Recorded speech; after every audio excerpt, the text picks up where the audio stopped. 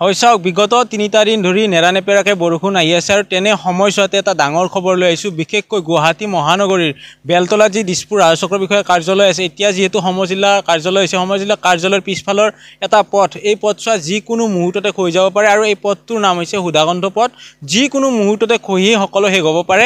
সতীৰ্থ প্ৰথমতে দৃশ্য দেখুৱাইছে এইটো হৈছে সুধাকণ্ঠ পথ বিশেষকৈ বশিষ্ঠ নৈ বাহিনী নৈ সমীপতে আছে আৰু তাৰ সমীপৰ মথাউৰিৰ এইটো পথছোৱা কিদৰে খহি গৈছে চপৰা চপৰে সেই দৃশ্য দেখুৱাইছোঁ। সৈতে টেলিভিশ্যনৰ আন এটা স্ক্ৰীণত সেই দৃশ্য দেখুৱাবলৈ সক্ষম হৈছোঁ আৰু এই মুহূৰ্তৰ এই দৃশ্য চাই অনুমান কৰিব পাৰিছে যে কিদৰে ভয়াৱহভাৱে খহিছে অৰ্থাৎ গৰা খহনীয়া সদৃশ এক প্ৰকাৰ পৰিৱেশ কাৰণ সমীপতে আছে বশিষ্ঠ নৈ। আৰু উল্লেখ কৰিব বিচাৰিছোঁ যে বিগত যিহেতু তিনিৰ পৰা চাৰিদিন ধৰি নেৰানেপেৰাকৈ বৰষুণ আহিছে সেই বৰষুণৰ ফলত বশিষ্ঠ বাহিনী নৈৰ যি সোঁত বৃদ্ধি হৈছে সতীৰ্থ সোঁতসমূহ জুম কৰি দেখুৱাবলৈ মুহূৰ্তত অনুৰোধ কৰিছোঁ আৰু এই দৃশ্য চাই অনুমান কৰিছে যে প্ৰবাল হ্ৰদটোৰ পিছতে এনেদৰে খহনীয়া আৰম্ভ হৈছে। আৰু এই পথছোৱাৰ নাম হৈছে সুধাকণ্ঠ পথ। আৰু এই পথছোৱাৰ যদি কথা উল্লেখ কৰোঁ তেতিয়াহ'লে উল্লেখ কৰিম যে আনপিনে যদি আপুনি ভেটাপাৰাৰ পৰা সোমাই আহে তেতিয়াহ'লে এই পথছোৱাৰে গৈ আপুনি বেলতলা এজি সংযোগ কৰে। বিশেষকৈ এই পথছোৱাৰে বেলতলা মহাবিদ্যালয় শংকৰদেৱ শিশু নিকেতন বেত বেলতলা আদৰ্শ জাতীয় বিদ্যালয় বেলতলা সকলোকে সামৰি লৈছে ৰাজচক্ৰ কাৰ্যালয়লৈকে আহ যাহ কৰিছে আৰু সমীপৰ এটা স্থানতে নহয় আন কেইবাটা স্থানতো এনেদৰে তৰপে তৰপে মাটি খহি গৈছে। যাৰ ফলত এই ৰাজপথছোৱাৰে অহা লোকসকলে এক প্ৰকাৰ দুৰ্ভোগ ভুগিছে। ইয়াৰে যিসকল স্থানীয় লোক আছে এই পথছোৱাৰে আহ যাহ কৰা লোক আছে তেখেতসকলৰ পৰা কিছু কথা জানিবলৈ চেষ্টা কৰিম। দাদা কি ধৰণৰ অসুবিধাৰ সন্মুখীন হৈছে আপোনালোকৰ? অসুবিধা মানে ৰাস্তাটোতো ঠিকে বনাইছিলে যেতিয়া মানে নদীটো চাফা কৰে চাফা কৰিলে জে চি বি ব্যৱহাৰ কৰে জে চি বি ব্যৱহাৰ কৰিলে এঢলীয়াকৈ মাটিটো কাটিব লাগে কিন্তু তেওঁলোকে জে চি বিয়ে আমি কোৱাৰ পিছতো চিধাকৈ কাটি দিয়ে। চিধাকৈ কাটিলেতো মাটিটো পানী খহি পানীত পৰি মাটি আহে। সেইটো কাৰণে ৰাস্তাটো যোৱা বছৰো তেনেকৈ খহিছিলে এই বছৰো তেনেকৈ খহিছে হয়তো বেছি পানী আহিলে এই গোটেই ৰাস্তাটো খহি পৰাৰ চান্স এটা আছে। কিন্তু মেইন দুখটো হ'ল আপোনাৰ J C B J C B নলগাই যদি আপোনাৰ মানুহ লগাই কিনে এঢলীয়াকৈ মানে কাটিল হয় আগৰ পৰাই আগতে তেনেকুৱা ছিষ্টেম আছিল এঢলীয়াকৈ আছিল বোল্ডাৰ পাৰা আছিল সেই বোল্ডাৰ চোল্ডাৰবিলাক জে চি বিয়ে মানে কাটি দিয়ে। কাটি দিলে চিধা চিধি হৈ যায়। চিধা চিধি হোৱাৰ কাৰণে ৰাস্তাটো মানে আজি দুই তিনি বছৰৰ পৰা খহি আছে।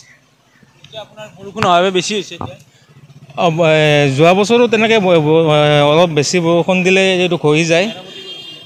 তাৰপিছত মেৰামতি কৰিছে বাঁহৰ সেয়া দিছে।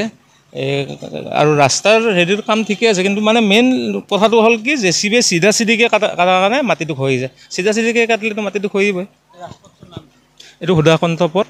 ৰাস্তাটোৰে কি কি সংযোগ কৰিছে এইফালে বেলতলা? এই সুধাকণ্ঠ পথৰ পথেৰে গৈ আপোনাৰ ইয়াতে এঘাৰখনকৈ স্কুল কলেজ আছে। দক্ষিণ বেলতলা হাইস্কুল আছে দক্ষিণ বেলতলা এল পি স্কুল আছে শংকৰদেৱ শিশু নিকেতন আছে দুখনকৈ কলেজ আছে বেলতলা জুনিয়ৰ কলেজ আছে বেলতলা চিনিয়ৰ কলেজ এনেকৈ টোটেল এঘাৰখন স্কুল কলেজ আছে চেণ্ট জোচেফ হাই স্কুল আছে চেণ্ট জোচেফ হেৰি স্কুল আছে টোটেল এঘাৰখন স্কুল কলেজ আছে। এতিয়া অসুবিধা হৈছে? অসুবিধা মানে হেৰি এতিয়ালৈকে মানে হোৱা নাই ভালকৈ যদি মানে আৰু ভালকৈ বৰষুণ দিয়ে এইটো খহি পৰা চান্স এটা আছে। কি আহিছে তথাপিতো এইখিনিত পথছোৱা কেইবাটা হয় এইটো যোৱা বছৰো তেনেকৈ ছয় সাতটা ইটা খহি পৰিছিলে এইবাৰো পৰিছে। আৰু হয়তো বেছি জোৰকৈ বৰষুণ দিলে খহি পৰিব। আছিলে স্থানীয় লোকৰ মন্তব্য সতীৰ্থ দৃশ্য দেখুৱাব দৃশ্য দেখিলে অনুমান কৰিব যে এতিয়াও কেইবাটা শাৰী খহি পৰিছে। এই মুহূৰ্তত দেখুৱাইছোঁ যে নিউজ এইটিন অসম নৰ্থ ইষ্টৰ দৰ্শকসকলক যে কেইবাটাও শাৰী ইটাৰ খহি পৰিছে যিহেতু ব্লক দিছিলে সেই ব্লকসমূহ খহি পৰিছে। অকল এটা স্থানতে নহয় আগফালেও কেইবাটাও স্থানত এনেদৰে খহি গৈছে তৰপে তৰপে। আৰু এই মুহূৰ্তত উল্লেখ কৰিম যে সুধাকণ্ঠ পথছোৱাই এতিয়া মহানৈৰ ভেটাপাৰাৰ পৰা এজিলৈকে কানেক্ট কৰা একমাত্ৰ পথ আৰু এই পথছোৱাৰে যি চোৱা যায় এই সময়ছোৱাত বিগত তিনি বছৰ পূৰ্বে পথছোৱা মুকলি কৰা হৈছিল আৰু মুকলিৰ পিছত যিসমূহ গ্ৰহণকৈ কলেজ মহাবিদ্যালয় হওক বা স্কুল হওক আহ যাহ কৰা ছাত্ৰ ছাত্ৰীসকলে সুবিধা লাভ কৰিছিলে। কিন্তু এতিয়া সেই সুবিধাৰ পৰিৱৰ্তে ৰাজপথছোৱা যেনেদৰে খহি গৈ থাকে আৰু বৰষুণ যদি আহি থাকে তেতিয়াহ'লে কিন্তু যথেষ্ট অসুবিধাৰ সন্মুখীন হ'ব আৰু বিশেষকৈ সমীপৰ আন এটা মথাউৰি দেখুৱাব অতীত সেই মথাউৰিটোৰ কাম কাজ কিন্তু এতিয়াও আৰম্ভ হোৱা নাই। তাৰ বিপৰীতে চৰকাৰ প্ৰশাসনে এই মথাউৰিটোৰে কাম কাজ আৰম্ভ কৰিছিলে যাতে এই পথছোৱাৰে সকলো লোকে আহ যাহ কৰিব পাৰে সুকলমে। কিন্তু সেই কাম হিতৰ ভাবি কৰিছিলে যদিও এতিয়া এনেদৰে খহি যোৱা পৰিলক্ষিত হৈছে। আৰু আমি কিছু আগুৱাই যাম সতীৰ্থই দৃশ্য দেখুৱাই যাব যে আনফালে বশিষ্ঠ বাহিনী নৈ যিহেতু নেৰানেপেৰাকৈ বৰষুণ দি আছে সেই সোঁতৰ দৃশ্য দেখুৱাইছে আৰু আনফালে আন স্থানত যিধৰণে ইটা হৈ গৈছে এগৰাকী কলেজৰ ছাত্ৰ আহি আছে এই মুহূৰ্তত দেখুৱাই আছে। সতীৰ্থ আৰু সমান্তৰালভাৱে কেইবাটাও স্থানত এনেদৰে খহি যোৱা পৰিলক্ষিত হৈছে। আন এটা স্থানলৈকে আহিছোঁ। ইয়াতে জাবৰেৰে এতিয়া দম দি থকা পৰিলক্ষিত হৈছে। এই গোটেই কথাখিনিৰ কথা উল্লেখ কৰোঁ যিহেতু যোৱাকালিৰ দিনটোত দিছপুৰ ৰাজ চক্ৰ বিষয়াৰ কাৰ্যালয় গুচি জিলা সমপৰ্যায়ৰ কাৰ্যালয়লৈকে উন্নীতিকৰণকৰণ হ'ল।